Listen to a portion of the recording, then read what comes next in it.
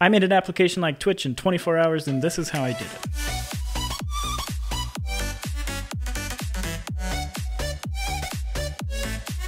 Step one of this process is, of course, trying to figure out how you're going to build this, like just planning it out. And so for planning it out, I had a general idea of how I wanted to get things done. I wanted there to be a way that you could see the current live streams and then also how to start a live stream. And so in order to incorporate those elements, I needed a backend service such as Firebase. And then we also need another backend service that is specifically going to be handling the live streaming aspect. Now, 100MS, they sponsored this video. I'll talk about them more on how to integrate it into your application and whatnot a little bit later in this video. And they are essentially like a third party library that you can plug into your application and get really easy live streaming. And also for those interested, I'll be hosting a webinar on their YouTube channel on November 9th at 10 a.m. in which we're going to be building a FaceTime clone. So check it out in the link in the description down below. Then finally, once you have all of that figured out, I went for the design. Now, in order to get design inspiration, I really like to go to dribbble.com and then there's a few clones. And the one that I liked most was this one right here. And then finally, once I was all prepared for that, Step two, building the project. And so once I started building the application, the first thing I wanted to do was create an onboarding screen.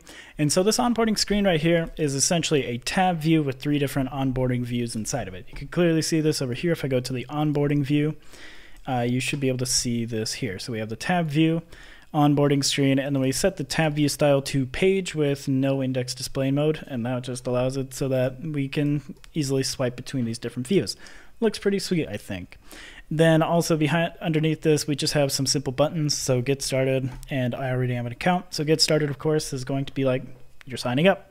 So then you can add your profile image, and then you're also using your name, email, password, blah, blah, blah, and you create the account. And all of this is happening through Firebase, and so I don't really need to worry about too much. Uh, you just basically import Firebase and then say auth to auth, create account, and then if you already have an account, go through the Firebase authentication and then you sign in through that way. So once you actually do sign in, you are brought to the home view with my very secure password of password.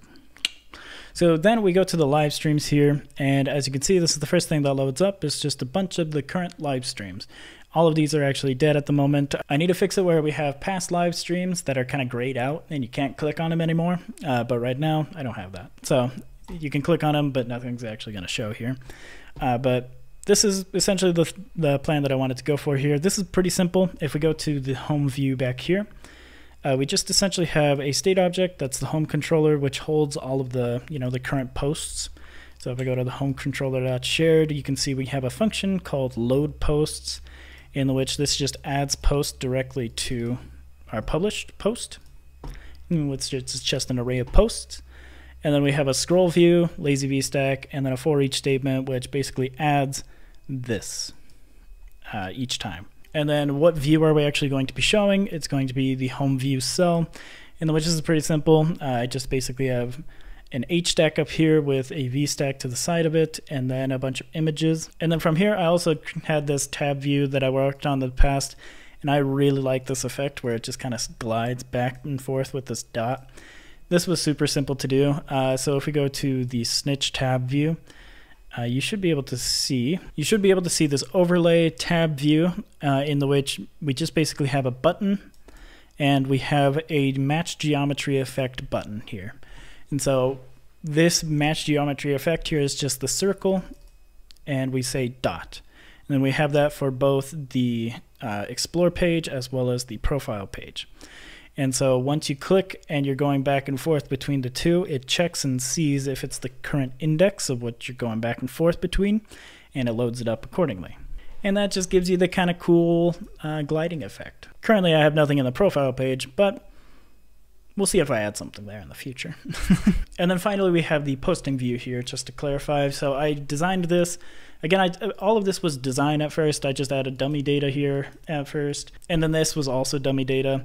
Uh, but now it's all functioning. So that's what I like to do is first design, implement, and then finally add the functionality. Now, I might have focused a little bit too much on the design at this point, but I was in it for the long run, I guess. so now, going past the design, let's actually figure out a little bit more how this works. So first and foremost, you need to sign up with an account, and then you need to create a new application in the which you give it an app name. If I were to say, you know, something here, and then we can say my region is going to be US, and then choose a template. So they have different templates here. They have audio rooms in the which you can create something like uh, Clubhouse or video conferencing or virtual events. You can do anything like that. I personally went with video conferencing, although it probably would have been better to go with virtual event now that I think about it. But too late. uh, and then you can go ahead and set up the application. It's going to register your domain, and we're good to go. And so you can see that we have the backstage, the stage, and then also the viewer. So if I go back to my dashboard, let me go to actually the template here with video conferencing and I can kind of show you how this works. Essentially people can have roles, how you would have in Twitch, you have like moderators and whatnot you can have different roles for the people that are viewing the video or creating the video. So, of course, you have the host, uh, the one that's actually going to make the video. And that's what I have here. When you create a room, you are a host. Now, for the guest, I have it so you can't share audio, can't share video, and you can't share the screen. You can't really do anything. You can only really view what the host is doing. Uh, in the future, you could of course implement it so it's more like a video conferencing application in which if you want them to share a video, you can do so. Then you have this awesome developer page in which you have your email, app access key, app secret, customer ID, app ID, token endpoint, all of this stuff just right here. Now, in order to create a room, this is not something that you can actually do from the client side. Uh, so once I swipe here, I need to call up to my own server which then returns a room ID. So if we were to look into this, I swipe, it then moves over to this function called create room, which then calls my server and specifically accesses this post function called create room. And so if we look at that, uh, this basically just has, uh, first and foremost, this is essentially a basic express documentation here. Uh, then we have var generate access token. Uh, this access, generate access token is found inside of their documentation right over here. So if we go to authentication and tokens, you can see this Node.js function right here. And I essentially just copied and pasted that. And then in order to create a room, if you look here, we say create room API. We have to access their API v2 slash rooms, and we have to feed it that token that we just created. So now if we go back here, that's essentially what I'm doing here. Uh, I'm basically saying request.post in the which I'm accessing that uh, URL, and then we're giving it the bearer token that was just created from up here. And then now this returns a newly created room. And so once I get that room ID back, uh, that's when I say, okay, everything has been created. So now I can set the current token, uh, you know, the the actual video that we're or the room that we're inside of right now and I set that. I say my room is created, which then pushes me over to the posting view, in which this starts uh, my HMS SDK. I say HMS SDK.build. I set the current track to my local track, and then we start essentially watching the video view here. So this video view is something inside of the HMS SDK, uh, in which I took something that they had called an HMS video view and I converted it uh, from UIKit to Swift UI uh, just by simply making this UI view representable. And it's scaled correctly. Everything seems to be working just as it should. So now we're getting a local feed inside of the application into our video view. Now, the other part of this that is also really important is we need to join the room. So in order to join the room, we have a token provider here. Now I'll link where I got this token provider from. Uh, it's from a, one of their example documentations.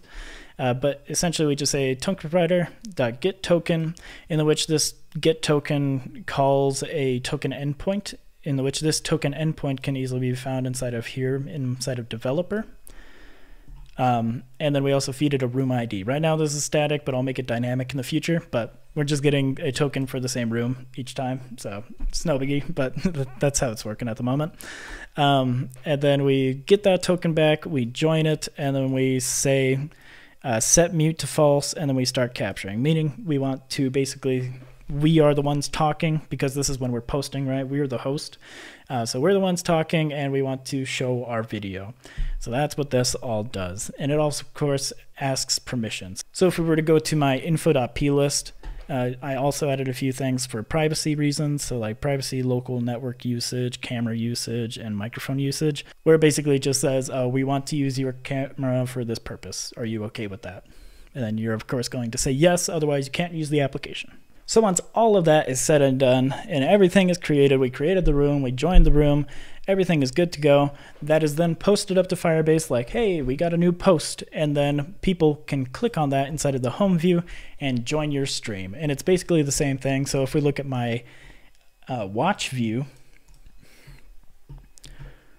uh, you can see the exact same thing. So we token provider, get token for the current room, and our role is going to be guest instead of host and then we join, we set to mute true, and then we stop capturing, meaning we don't want to share video or audio in any way, shape, or form. Now, something else to note here for each of these views, so for the posting view finished and the watch view, we have a view model attached to this, which has an HMS update listener.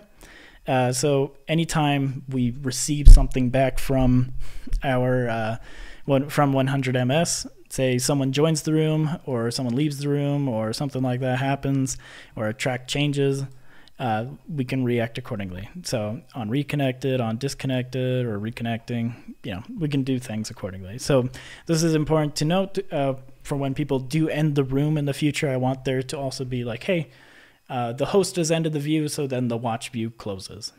So that's where I would add that type of functionality in here as well.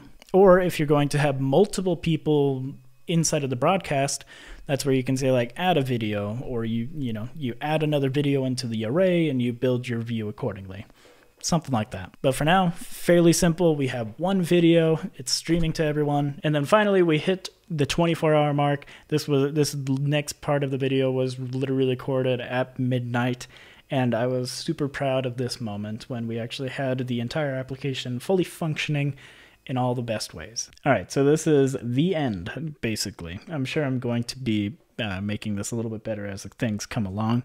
But essentially, the idea is we're going to have our host device. And so if I have this here, I say hello or give it, you know, give it a name, a room name or title. And then you put a category. Right now, the categories don't exactly work, but I'm imagining the categories in the future are going to be like, hey, uh, this is gaming or this is I was just chatting or something, and a certain image pops up to, according to that. But right now, it doesn't work. So once you got that, posts, uh, it has to call up to 100MS's servers. Those send back, and now we're doing a live video feed, as you can see here. So that looks great. And then if I want to watch it, I just click over here, uh, where the table view is basically constantly updating. And then also, you should be able to hear the stream as well. And that, that that's essentially the idea. Now, if I knew a little bit more of Node.js, I think this whole process would have been a breeze because I spent four hours on creating a Node.js file, which probably should have taken like 10 minutes for most people. So that was the big problem that I ran into with 100ms. Other than that, perfectly fine. But yeah, there you have it. That's like the basic overview of everything I did in like 24 hours. So I hope you guys enjoyed this. I hope it was a little bit insightful. I found this a lot of fun to do. So thanks to 100ms for actually pushing me to uh, do something like this. I will take any sponsorship that tries to make me do better, uh, and I appreciate it. So hope you guys enjoyed it. Um, and if you didn't, be sure to send it to someone you hate. And yeah, I'll see you, see you guys. See you on the next one. Bye.